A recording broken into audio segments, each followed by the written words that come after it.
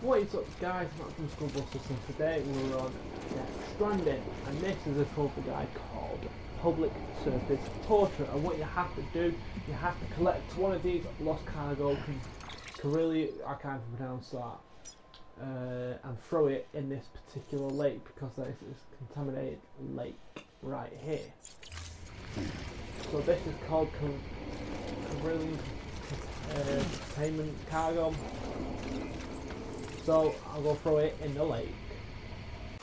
Okay guys, we are here and pressing square Y holding the cargo in your hand. Okay, so what we need to do is get our cargo out. I want this contaminated one.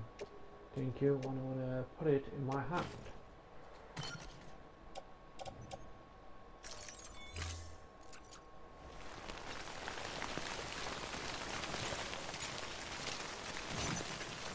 Okay.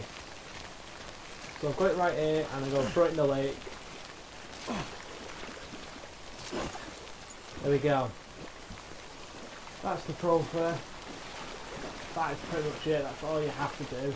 But make sure this is episode 3 and you've got to do it at the junk dealer.